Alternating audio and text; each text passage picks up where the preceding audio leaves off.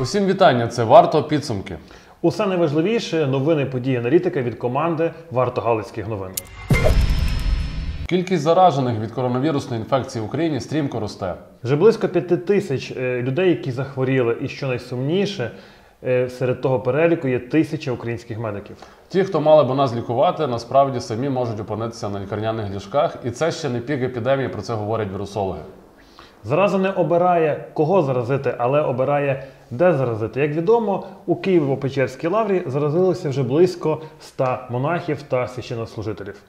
От нас сегодня едино потребно молитесь, поститесь, ходите в храм, причащайтесь и причащайте детей маленьких. Не смотрите старшие поколения, младшие поколения. Все спешите в храм, читайте псалтырь, Евангелие, обнимите друг друга, Як відомо, товариш Лебідь теж заразився, і не лише він. Хтось скаже карма. А хтось каже закономірність. А ми нагадаємо, що в одній з будівель на території Києво-Печерської лаври розташовувалася клініка е, Інституту епідеміології та інфекційних хворіб імені Громашевського. Але браття на чолі з митрополитом Павлом Паша Мерседець, як його називають, домоглася, аби клініка переїхала. Захотілося попам не клініки, а готелю. В цьому їм допомогла тодішня міністр Раїса Багатирьова. Сам настоятель лаври хвалився, що їм вдалося відселити лабораторію та лікарню. Навіть наводив залізобетонні аргументи. Так, я являюся ініціатором того, щоб виселили лікарню інфекційну звідси. Ви хотіли б, щоб е, у вашому під'їзді біля вашої квартири був притон? Нам мені неприємно, наприклад, що зі мною живе людина, яка гуляла, достала всі хвороби, які тільки можна достати. А я молюсь, прошу Бога прощення, моє браття, і щоб мене хтось нагородив тут, ходячи по території. Далі у програмі ми розкажемо вам про те, як борються з коронавірусом у нашому регіоні.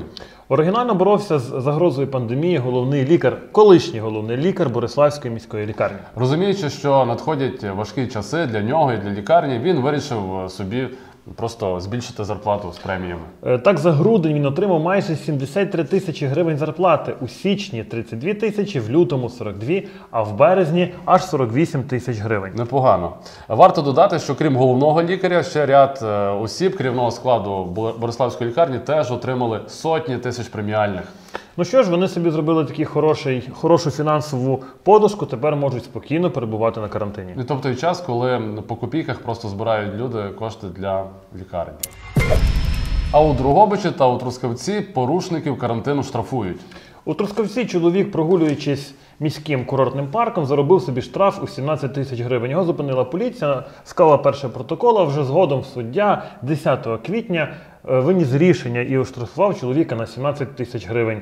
Зрозуміло, що це лише перше рішення і, мабуть, буде апеляція, проте факт залишається фактом. Перший пішов. Е, У Дрогобичі теж оштрафували чиновницю, котра працює в одному з відділів е, Дрогобицької міської ради. Що зробила чиновниця? Вона розповсюдила у себе на сторінці у Фейсбук фейк про те, що будуть літати вертольоти. Всі ви пам'ятаєте цей фейк, і будуть чимось там нас поливати е, з неба. Е, Потім вона цю, цей пост забрала, але в кожному разі отримала штраф.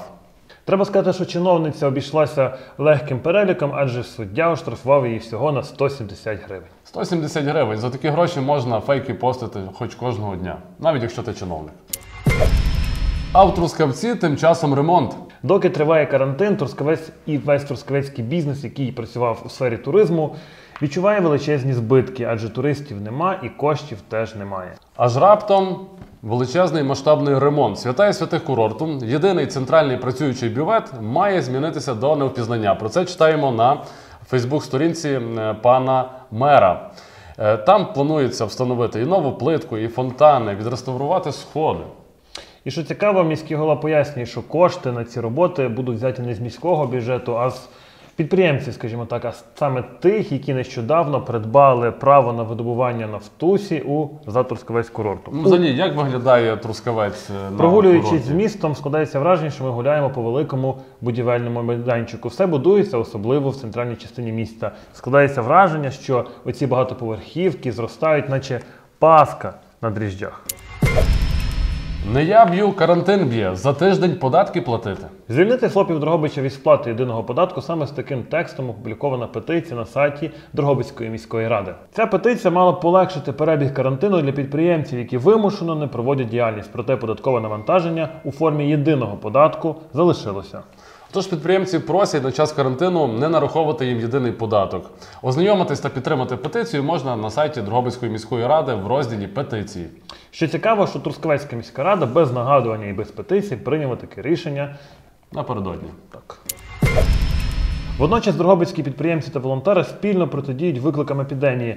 Напередодні великодних свят волонтери центру опору коронавірусу доставили освячені великодні пасочки потребуючим людям. Окрім того, на вулицях Дрогобича волонтери роздавали перехожим комплекти захисту. Це маски та рукавички. За годину такої волонтерської праці роздано близько тисячі комплектів. Активіста Сергія Стерненка хочуть ув'язнити. Про це пише адвокат Масі Наєм. У своєму пості він опублікував прогноз до наступного тижня. Сергію оголосять підозру та ув'язнять. Нагадаємо, що Сергій, одеський активіст, на нього здійснено вже три напади. Е, Під час останнього нападу двоє тітушок хотіли його вбити, але Сергій е, почав оборонятися і його тепер хочуть засудити за те, що він вижив. Про що пише Масі Наєм? І в той же час та сама пані Ірина Венедіктова буде казати, що їй дуже важливо розслідувати напади на активістів і справу вбивства Катерини Гандзюк. Але давайте залишатися тверезими. Єдина різниця між Катериною і Сергієм те, що Сергій живий. Все. Так багато уваги з боку проросійських вбивць досягнення революції гідності, які через те, що Сергій живий. Можливо, що це остання барикада, і тому можливо, що це початок, новий початок. Водночас слідчий Служби безпеки України закрив кримінальне провадження щодо погроз Андрія Портнова, який регулярно відправляв прокуророві Олександрові Бошку. Ось цей прокурор вів кілька кримінальних проваджень, в яких фігурував Олександр, е, в яких фігурував Андрій Портнов. Андрій Портнов, замість того, щоб нормально реагувати, просто відправляємо погрози і фізичного знищення, і так далі. Ось такі у нас контрасти, Андрію. І до приємних новин у Другобичі запрацював фонтан. Фонтан це добре, але якщо ми маємо сидіти всі вдома, для кого цей фонтан взагалі буде працювати? Мабуть, для краси. Хіба ж? Варшаву підкорила українська мрія, за якою захопленням спостерігали десятки тисяч поляків. Найбільший літак в світі, українська мрія Ан-225, приземлився у Варшаві та привіз з собою вантаж з Китаю у понад 100 тонн. Ця подія у Польщі викликала великий ажіотаж, особливо серед любителів авіації. Ці бідкалися, що не можуть е, просто потрапити до Варшави через карантин і побачити на власні очі українського велетня. Е, Крім того, треба сказати, що у аеропорту імені Фредеріка Шопена у Варшаві здійснили таке просто пряме включення, і стрім дивилися понад 80 тисяч людей. Але без ложки дьогтю таки не увійшлося. Колишній міністр закордонних справ Радислав Сікорський у своєму твіттері написав, що прилетів російський літак, а не український. Він тому дуже тішився, помилився. Ну треба сказати, що у польських медіях досить часто українську мрію називали російським літаком.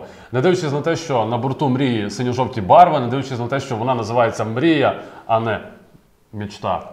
Ну, Хоча треба сказати, що потім такі поляки виправилися, і е, на, твіт, е, на твіттері е, Фредеріка Шопена аеропорту вони все-таки подякували українцям за приліт літака. Справедливість відновлено. А ми бажаємо вам гарно, а найважливіше в родинному колі відсвяткувати ці великодні свята. Бережіть себе та будьте здорові. І підписуйтеся на наші сторінки в соцмережах. Не забувайте відвідувати наш сайт. У нас є YouTube канал. І пам'ятайте, ми є на варті для того, щоб ви знали більше.